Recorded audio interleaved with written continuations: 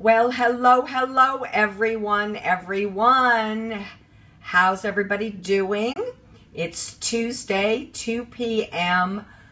Pacific time here in Tucson, Arizona. I'm Carol Rundle.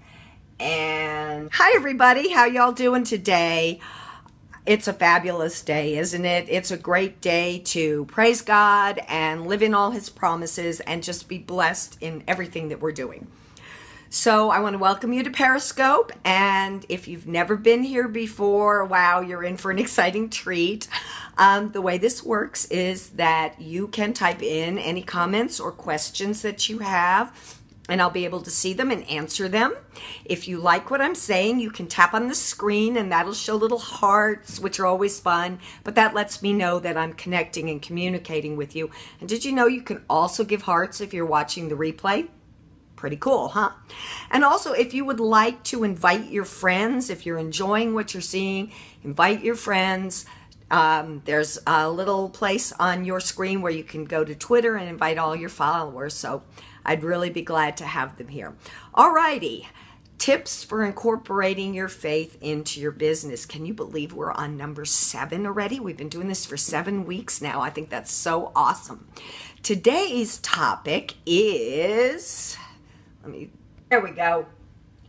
No fear. We don't want any fear in our lives. And I'm going to put this camera stand down here and see if that makes it a little bit better. I'm sorry for all this. Not really. Doesn't do too much. So let's go here. We're going to talk about how to get rid of fear in our lives. But the first thing we want to see is if fear is holding you back. You know, a teacher of mine once said that fear is sand in the machinery of life. And I'm sorry for this. I should have had this set up better to start with. And I thought I did. Now, okay, you can see it. It's a little bit better. So fear is the sand in the machinery of life. And why is that? It's because it mucks everything up and it brings things to a standstill. So, question for today is Is fear destroying your business or preventing you from starting a business. Now, you've probably heard this saying fear is false evidence appearing real, F E A R.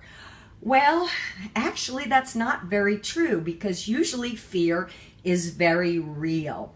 And when we try to deny that it exists, then we're just holding down our emotions and we're we're not solving anything, we're just pushing it farther down and pushing it farther down. And you know what usually happens when, when you push things down long enough is they explode, usually at the worst time. So let's not try to deny that it exists. We're going to acknowledge it so that we can deal with it. So now let's look at what the Bible says about fear. And we're going to start in the book of Job. And most people are familiar with the story of Job. And in Job, um, I didn't even put the scripture reference, but this this first one is from the first chapter. And it was so when the days of their feasting were gone about that Job sent and sanctified them and rose up early in the morning and offered burnt offerings according to the number of them all. Now he's they've said them a few times in here. Who is them? Well, Job will answer that question for you. For Job said, it may be that my sons have sinned and cursed God in their hearts. Thus did Job continually. Yeah. What was going on was that Job had sons and daughters, and he was feeling in his heart that his children had sinned and were cursing God in their hearts. So, what he was doing was he was making sacrifices on their behalf. He was filled with fear about what was going to happen to his children, so he was trying to do the sacrifices for them. The problem with trying to do things for other people is that it doesn't work. If a person is convinced in their hearts and therefore has a behavior resulting from that, somebody else is not going to make that change. The person themselves has to come to a realization and then repent. And repent simply means to change your ways. So let's go back to Job. In chapter 3, verse 25, Job says, For the thing which I greatly feared is come upon me, and that which I was afraid of is come unto me. Wow. Pretty, pretty intense. And it's, it shows us the basics of fear. Fear is like faith in reverse. You're going to get what you fear. What Job feared came upon him. It's it's one of the laws of the universe that God set up. Like faith brings results, fear brings results. And obviously fear does not bring very good results. So let's look a little bit more in the Bible in the book of Hebrews. And in Hebrews 2, 14 and 15, it says, For as much then as the children are partakers of flesh and blood, he, and this is referring to Jesus Christ, also himself likewise took part of the same. Why? That through death he might destroy him that had the power of death. That is the devil. Wow, this is a very interesting. How many times have you heard people say that God causes death? That God took a person because he wanted another little angel or a rose in heaven? That God is the one who causes death. This verse says very specifically that it is the devil who has the power of death. Wow. Verse and deliver them. So Jesus Christ, through his death, delivered them who through fear of death were all their lifetime subject to bondage. What fear does, it creates bondage. It ties us up so that we can't do the things that we want to do. We can't do the things that we know God has called us to do. That's what fear does. That's why it's sand in the machinery of life. And we also know from this verse that it doesn't come from God. That's good to know. Well, let's look at 2 Timothy 2, I'm sorry, 2 Timothy 1, verse 7. For God has not given us the spirit of fear, but of power and of love and of a sound mind. It shows us that fear does not come from God. So if we are experiencing fear in our lives, we know, first of all, this is not from God. So if it's not from God, we can get rid of it because Jesus Christ, according to the verse we read in Hebrews, defeated it. He defeated fear, he defeated the devil. So, what happens when you're dealing with fear?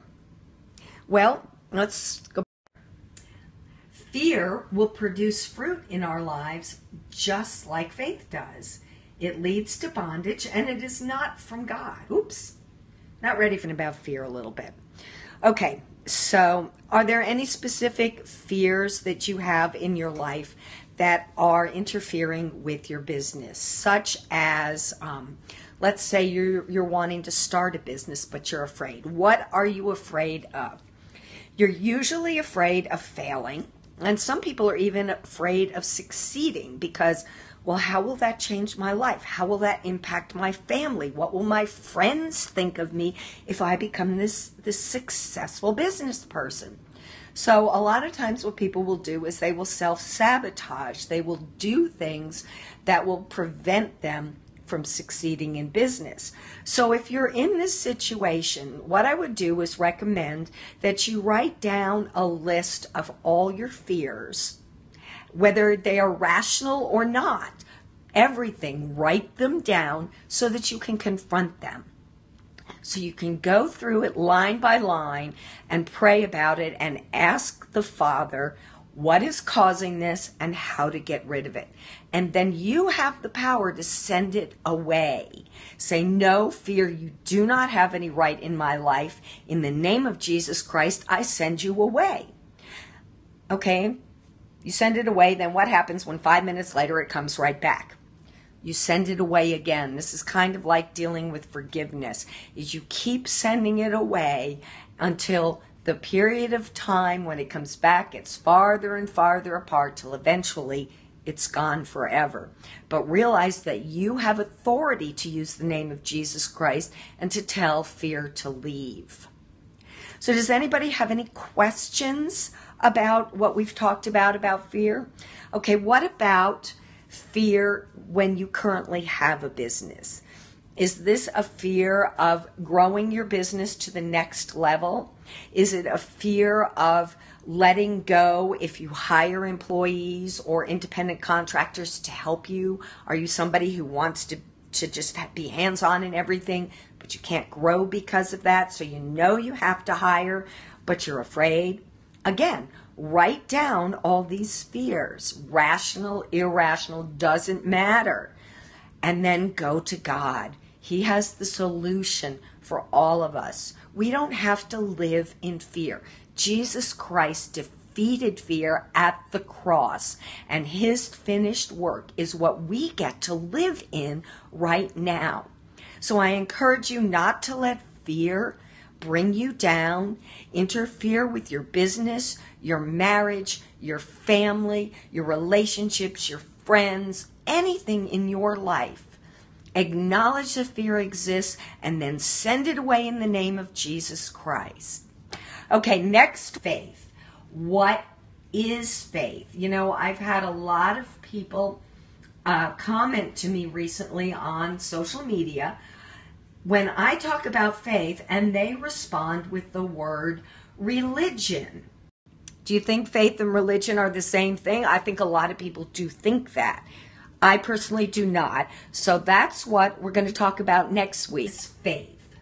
So in the meantime, share this with your friends. Let them know that every Tuesday at 2 o'clock Pacific time, I am sharing about incorporating your faith into your business, how to live powerfully in a fallen world. So, in the meantime, have a great week, everybody. God bless, and we'll talk next week.